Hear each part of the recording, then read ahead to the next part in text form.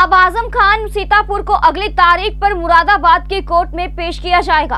आपको बता दें कि आज़म खान जेल में बंद हैं और आज़म खान पर मुरादाबाद जनपद में दो मुकदमे भी दर्ज हैं, जबकि रामपुर ज़िले में लगभग चौरासी मुकदमे आज़म खान पर चल रहे हैं। आपको बताते चले कि समाजवादी पार्टी के सांसद आज़म खान की उत्तर प्रदेश की मुरादाबाद के एडीसी टू की स्पेशल एमपीएमएल कोर्ट में पेशी होनी थी, लेकिन कानून व्यवस्था के मद्देनजर सुरक्षा व्यवस्था का पुख्ता इंतज़ाम न होने के कारण आज आज़म खान को सीतापुर की जेल से मुरादाबाद जिला अदालत नहीं लाया जा सका है।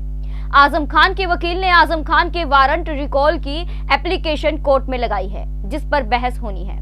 आपको बता दें कि आज़म खान के खिलाफ वर्ष 2008 में मुरादाबाद के छजलैट थाने में रोड जाम कर हंगामा करने और सरकारी कार्य में बाधा डालने के आरोप में केस दर्ज हुआ था। आज़म खान लगातार कोर्ट से गैर हाजिर चल रहे थे जिसकी वजह से कोर्ट ने आज़म खान के गैर जमानती वारंट जारी कर दिए थे। आज वारंट रिकॉल की अपने एप्लीकेशन मूव की थी कि बाई वर्च्यू ऑफ़ श्योरिटीज ये जो है कस्टडी में है इसलिए इनके वारंट रिकॉल किए जाए।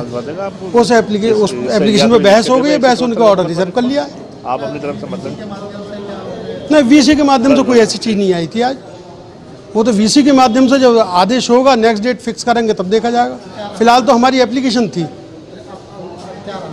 उस पर आर्गूमेंट हो गए। आर्गूमेंट होने के बाद में ऑर्डर में रिज़र्व कर लिए। एप्लीकेशन की नकल चाहिए हम दे देंगे आपको। मैं तो दो को ही रिप्रेजेंट कर रहा हूँ जेल में। है आज़म खान साहब। आज़म खान साहब और अब्दुल आज़म खान। हाँ दो को ही रिप्रेजेंट कर रहा हूँ। क्या नाम है सर आपका? यूसुफ मलिक। सर आज जो ये छजलेट थाने का एक मुकदमा था रोड जाम करने का मान्यवर के खिलाफ। मान्य मोहम्मद आज़म खान साहब के अब्दुल्ला आज़म खान साहब के। तो उसमें आज उनकी पेशी होनी थी क्योंकि ऑलरेडी वो सरेंडर रामपुर में कर चुके हैं। तो वो पहले से जेल में हैं तो आज उसमें हाजिर होना था। तो प्रशासनिक कारणों से उनको नहीं लाया जा सकता सुरक्षा की दृष्टि से। इसलिए जो है वो आपत्ति आ गई और उनकी हाजिरी जो है वहीं से मानी गई जेल से।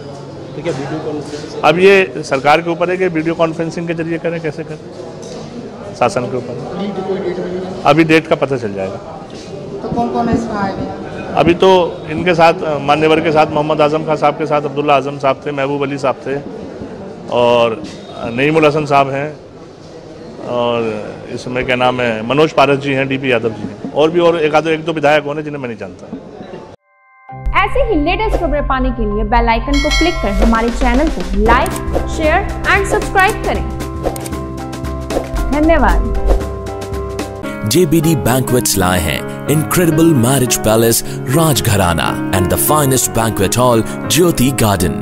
World class catering, centrally air conditioned, lush green lawns, state of the art lighting. A perfect venue for wedding, launching and parties. Rajgharana and Jyoti Garden at JBD Banquets Enterprise.